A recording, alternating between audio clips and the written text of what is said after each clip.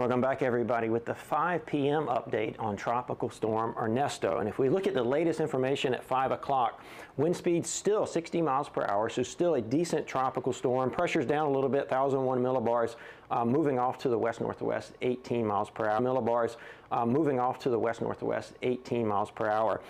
Um, but more importantly than this is going to be the hazards that are going to unfold over the next couple hours and that have been unfolding over the uh, Leeward Islands here um, in the form of wind. These wind squalls are coming through producing very heavy winds and rain.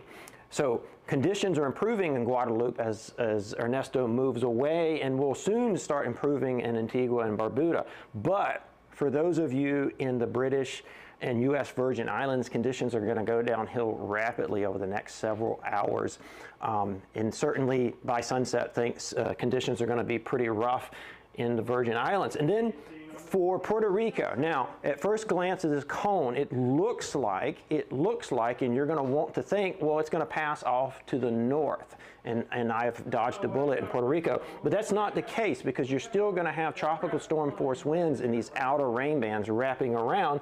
And speaking of these outer rain bands, the, the, potential for significant heavy rain falling even well outside the cone exists, and that's why we have a flood watch in effect for Puerto Rico. Now, what does a flood watch mean? That doesn't mean that the flooding has yet started, but conditions are conducive for flooding to happen in Puerto Rico tonight. So Bottom line, if you're listening to us uh, from Puerto Rico, um, not a good night to be driving. So let's, let's go home and stay put the rest of the night and avoid these treacherous uh, driving conditions.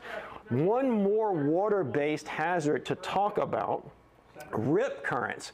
Rip currents are going to be one of the big stories of this storm, not only for the main area being impacted here in Puerto Rico, where you can see rip current uh, risk is high, but also, also even along the east coast of the United States. Now, why is that going to be the case? Because as Ernesto pulls out into the open waters of the western Atlantic, it will strengthen significantly, potentially becoming a powerful hurricane. And what you see here behind me is the wave field, the waves, the ocean waves that will be generated by those strong winds. These brighter colors here indicate ocean waves of over 40 feet in height.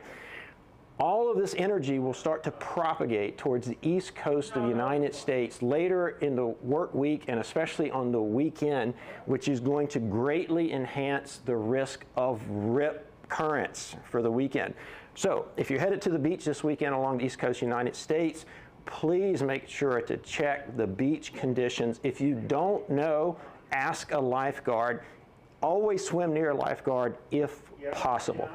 That's it for us tonight. We'll be back tomorrow with more updates, and as always, you can get the latest information from hurricanes.gov.